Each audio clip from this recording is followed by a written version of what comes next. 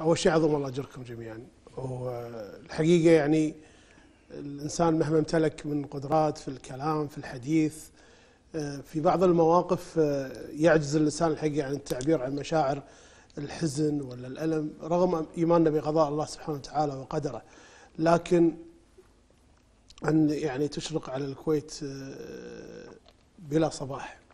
للامانه يعني خطب عظيم وخطب جلل. للأمانة يعني إحنا الجميل في الموضوع واللي متأكدين منه انه ما في أحد فينا يتصنع الحزن ولا في أحد فينا يتصنع الألم، كل الأطفال الكبار الصغار الكويت كلها تحس إن فقدت آه، أب وقائد ومثل ما قال أبو علي شخص قريب منا من من أهلنا من في بيوتنا العلاقة بين الحاكم والمحكوم سبحان الله إذا اقتربت إلى هذا الحد يصبح الفقد مؤلم جدا.